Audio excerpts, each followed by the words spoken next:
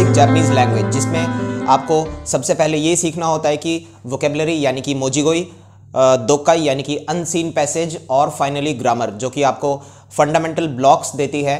आपको advance Japanese सीखने के लिए बहुत बहुत ज़रूरी होता है। तो आइए इस वीडियो के थ्रू हम सीखेंगे कि बेसिक जैपनीज़ लैंग्वेज में हम वोकेबलरी को ग्रामर को, और कॉम्प्रिहेंशन पैसेज को एक ही बार में पढ़ के किस तरह से हम जे हो, चाहे वो इंटरव्यू क्वेश्चन हो, एक एक ही बार में हम किस तरह से उसको सॉल्व कर सकते हैं और साथ के साथ हम ये भी डिस्कस करेंगे कि उसको फास्ट सीखने का तरीका क्या होता है, गलत तरीके क्या होते हैं और सही तरीका क्या होता है याद करने का।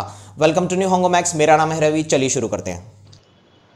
चलिए तो हमेशा की तरह जैसे कि हमने पहले भी वीडियोस में देखा है कि हम वोकेबलरी को दोकाई के थ्रू यानी कि अनसीन पैसेज के थ्रू अगर सीखें तो बहुत ही इफ़ेक्टिव बहुत ही स्पीड से और बहुत ही फास्ट इसको आप सीख सकते हैं। तो शुरू करते हैं इससे। पहले मैं बल्कि आपको ये कहूँगा कि आप अपने आप इस वीडियो को यहीं पर पॉज करके, इसको पढ़ के, अपने आप सॉल्व करके एक क्वेश्चन इस क्वेश्चन का एक आंसर निकालने की कोशिश करें और उसके बाद इसका सॉल्यूशन देखें। तो यहीं पर वीडियो को पॉज करिए। चलिए तो आई होप आपने ये आंसर निकाला होगा और अब हम इस आंसर को देखते हैं, जो कि है फ़र्स्ट का थर्ड और सेकंड क्वेश्चन का सेकंड और कैसे है? बहुत ही सिंपल बहुत ही इजी दो का ही है बहुत ही इजी पैसेज है। चलिए इसको देखते हैं। किनो व तोमोदाची तो फुतारी दे एगानी की माश्ता। तो जिन्होंने एन फाइव का आधे से थोड़ा सा ज़्यादा पार्ट पढ़ा हुआ है जिसमें वर्ब्स और ये सिंपल वोकेबलरी आई हुई है, उनको ये बड़ी इजीली समझ आ गया होगा कि कल मैं अपने फ्रेंड्स के साथ या अपने फ्रेंड के साथ अब देखिए फ्रेंड्स और फ्रेंड में यही फ़र्क है कि हम हमेशा कहते हैं कि जापानीज़ बड़ी मुश्किल है, इसमें प्लूरल का नहीं पता चलता। लेकिन आगे जब क्लियरली लिखा हुआ है, फुतारी दे, एगानी की माश्ता. तो फुतारी दे का मतलब हो गया हम दोनों। तो यहाँ पर पता चल गया कि मेरा एक ही फ्रेंड था। तो किनोवा तोमोदाची तो फुतारी दे, एगानी की माश्ता का मतलब है। कल मैं अपने फ्रेंड के साथ मूवी देखने गया था। एगावा निजी कान गुराई दे, ओवारी माश्ता। जिन्होंने ये बेसिक वोकेबलरी पढ़ी हुई है जिकान गुराई। तो उनको ये इजीली पता चल गया है। नहीं भी है तो आप इस तरीके से जैसे इस दोकाई में मीनिंग्स दिए हुए हैं तो उस तरीके से आप सीख सकते हैं। एगा व निजी कान गुराई दे ओवारी माश्ता यानी कि दो घंटे में मूवी खत्म हो गई। हीरू गहानो जिकान नी तो हीरू गहन का मतलब होता है लंच, और जिकान अगेन टाइम तो लंच के टाइम पर डैश नो दे। तो जिकान के बाद नी पार्टिकल है तो नी नारीमास जो होता है, इसका मतलब होता है टू बिकम तो यहाँ पर आंसर है नी नाता जो कि नारी मास्ता का शॉर्ट फॉर्म है। जिकान नी नाता नोदे यानी कि टाइम हो गया था टू बिकम नोदे नोदे मतलब दैट्स वाई शोकुदो नी हाइते शोकुदो मतलब कैफेटेरिया या फिर कैंटीन या कोई फ़ूड हब कह सकते हैं. नी हाइते हाईरी मास का मतलब होता है. एंटर करना. गोहान ओ तबे मास्ता हमने खाना खाया. सोरेकारा देपातो दे काई मोनो काई मोनो ओ शिमाश्ता देपातो का मतलब होता है डिपार्टमेंटल स्टोर यानी कि मॉल अगर डिपार्टमेंट अगर आपने सोच लिया तो गड़बड़ हो जाएगी, इसलिए मैंने यहाँ पे मॉल आपको लिखा दिखाया ताकि आप याद रखें कि देपातो कभी भी आए तो मॉल सोचें। जैसे हम इंडिया में बड़े से मॉल में जाते हैं तो वही होता है डिपार्टमेंटल स्टोर जापान में, उससे मिलता जुलता होता है। तो इसलिए मैंने यहाँ पे मॉल लिखा है। काई मोनो शिमाश्ता मतलब हमने शॉपिंग करी। स्कोशित्सकारिता थोड़ा थक गया तो यहाँ पे एक हल्की सी नेगेटिव बात आई कि मैं थोड़ा थक गया केरे दो आया तो यानी कि आगे कुछ अच्छा आएगा। तो इसमें हमें सेकेंड ऑप्शन में देखना है कि वारुई तो बैड होता है, तानोशी अच्छा होता है कितानाई डर्टी यानी कि वही खराब हो गया, मुस्काशी भी खराब है। तो बाकी तीन ऑप्शंस खराब खराब है। एक ही ऑप्शन है अच्छी, जो कि होगी तानोशी। तो इसका आंसर होगा तानोशी। क्यों? क्योंकि इससे पहले केरेदो आया है। केरेदो का मत होता है बट। तो स्कारिता केरेदो, तानोशी इची नीची देश था यानी कि बड़ा ही एंजॉयबल एक दिन था। चले तो इसी तरह से इसको देखिए दोकाई, मैंने पहले भी वीडियोज़ में कहा है कि एक बार अगर आपने सॉल्व कर ली तो इसका मतलब ये खत्म हो गई है जी नहीं, ये शुरू हुई है। शुरू का मतलब क्या है? इसको दो बार, तीन बार, चार बार करना है। क्यों? क्योंकि ये जितनी भी वोकेबलरी आई है, इसको हमें हिंदी की तरह याद हो जाए। बिल्कुल सुनते ही हमें क्लिक हो जाए। इसलिए आपको कम से कम चार बार इस दोकाई को सॉल्व करना होता है। किसी भी दोकाई को सॉल्व करना होता है। तो चलिए अब अगला सेक्शन है ग्रामर इसके भी थ्रू हम ग्रामर भी सीखेंगे और साथ साथ जो वर्ड्स आएँगे, उनको मोजीगोई की तरह रिवाइज करेंगे, यानी कि उनको भी याद करेंगे। तो चलिए पहला पैटर्न है ते इता दाके मासेंग का ते इता दाके मास का। आ, ये मैंने भी पहले भी वीडियोस में सिखाया हुआ है कि ते के साथ इतादा के मास लगता है तो ये फेवर के तौर पे यानी कि ये वर्ब सामने वाले ने मेरे ऊपर करी है। और देखिए अगर फेवर नहीं भी आपको समझ आता या याद नहीं रहता कि फेवर है इसमें फेवर कहाँ है जैसे उसने मेरे लिए मेरा होमवर्क चेक करा मेरे टीचर ने मेरा होमवर्क चेक करा। अगर इसमें फेवर का आपको वो याद नहीं भी हो रहा तो छोड़ दीजिए। सिर्फ़ इतने से याद, ये फेवर इसलिए बोला जाता है, ये याद रखवाने के लिए कि ये वर्ब सामने वाले ने मेरे लिए करी है। मैंने ये वर्ब नहीं करी है। तो ते फॉर्म के साथ इतादा के मास आया तो इसका मतलब है कि सामने वाले ने ये वर्ब मेरे लिए की है। तो पहला इसका एग्ज़ाम्पल देखते हैं। कामेरा ओ काईताइन दिसगा। काईताई का मतलब है कि मैं खरीदना चाहता हूँ।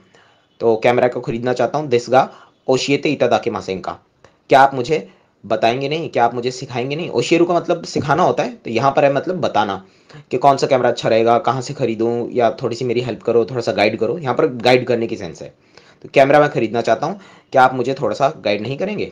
चलिए सेकंड देखते हैं। निहोंगो दे रेपो तो काकी मास्ता का। चेक कुश्ते तदा के मासेंग का जापनीज़ लैंग्वेज में मैंने रिपोर्ट लिखी है। ये थोड़ा सा वर्ड्स हिल गए हैं। इसको ध्यान से सुनिए। ये लिखा है रेपो तो ओ काकी मास्ता। तो मैंने रिपोर्ट लिखी है। चेक कुछ तेईता के ये आगे वाला बड़ा इंपॉर्टेंट है, इसको ध्यान से सुनिए। चेक कुछ तेईता के मासेंग का का मतलब है, क्या आप मेरे लिए चेक नहीं कर देंगे? तो यहाँ पर भी एक हल्का सा फेवर का सेंस आ गया और ये भी सेंस आ गया कि ये वर्ब आप मेरे लिए करेंगे। तो पूछने का एक सेंस होता है, चेक कुछ तेईता के मासेंग का क्या आप ये काम मेरे लिए करेंगे? यानी कि एक तरह से परमिशन लेने का या फिर एक फेवर मांगने का एक तरीका होता है। तो ते इतदा के मास के बाद जब का लग जाए तो क्वेश्चन बन जाता है और यानी कि मैं आपसे कोई परमिशन मांग रहा हूँ या फिर मैं आपसे कोई फेवर मांग रहा हूँ। चलिए आगे बढ़ते हैं। उन्नानो तोमोदाजियो शोकाई इतदा के मासेंग का। यानी एक फीमेल फ्रेंड को शोकाई का मतलब होता है। इंट्रोड्यूस कराना। शिते इतदा के मासेंग का सॉरी सॉरी शिते इतदा के मास का का वही मतलब है जो मैंने भी आपको बताया कि क्या आप ये काम मेरे लिए करेंगे। यानी कि जो इंट्रोड्यूस कराने का जो काम है, यानी कि किसी लेडी से मिलवाने का जो ये काम है, ये आप मेरे लिए करेंगे।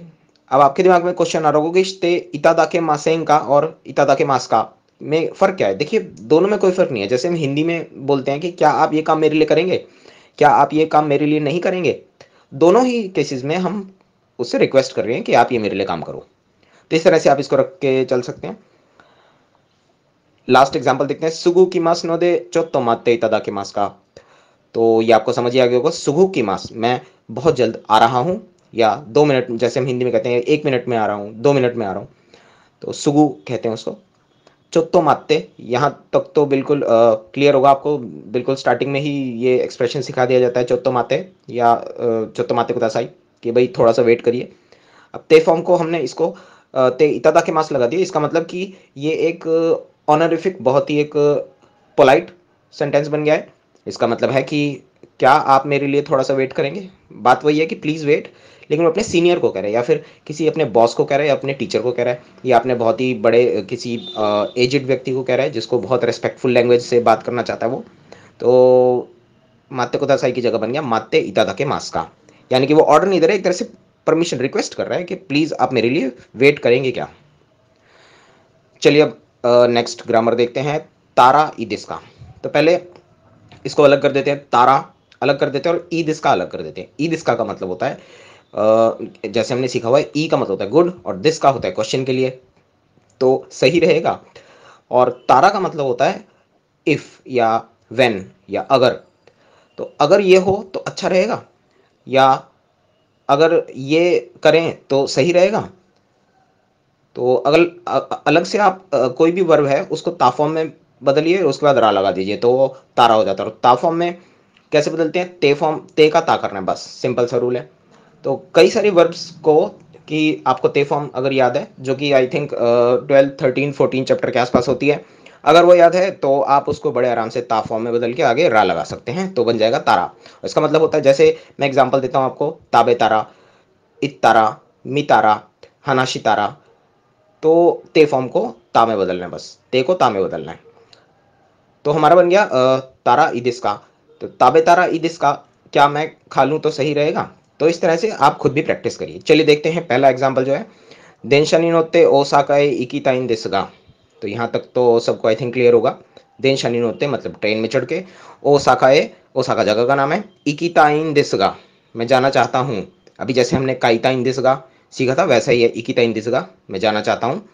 दोस्त तारा दिसका यानी क्या करूँ तो सही रहेगा। यानी कि वो कह रहे हैं, मुझे प्लीज़ गाइड करिए कि मैं क्या करूँ? यानी कि मैं कौन सी ट्रेन में चढ़ूँ कहाँ से ट्रेन में चढ़ूँ और किस तरीके से जाऊँ? तो ये दो सितारा यानी कि क्या करना सही रहेगा? शिमास का सितारा बन गया शिमास की ते फॉर्म होती है शिते उसका बन गया शिता और उससे बन गया सितारा। सितारा ईदिस का।